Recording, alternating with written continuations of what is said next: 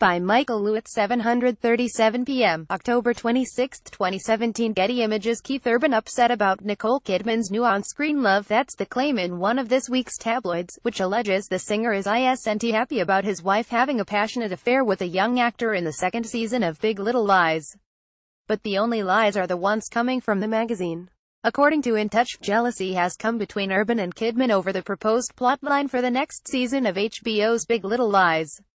A so-called source tells the tabloid the show's writers have decided they want Nicole to have a hot, passionate affair with a young actor.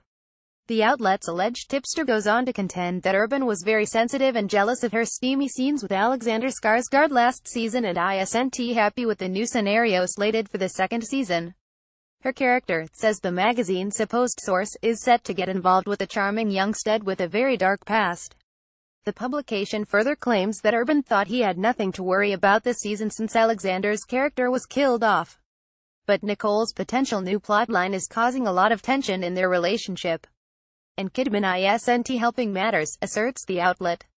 Nicole is intent on going forward with the storyline. She wants to do what's best for the show, adds the seemingly mad-up source. Gossip Cop investigated the outlet's report. For starters, it's unclear whether there will even be a Big Little Lies season 2. There's been no announcement, and even the cast and crew isn't sure about its future. That, of course, makes the tabloid's entire premise moot. It also makes it impossible for the magazine to maintain there's a plotline about Kidman's character having a hot affair with a young stud and Urban being upset about it. In any event, a source close to the couple exclusively assures Gossip Cop the magazine's claims are crazy lies and laughable. Of course, we're not surprised by the falsity of the publication's story. For years, the tabloid has untruthfully contended that Kidman and Urban were on the verge of split.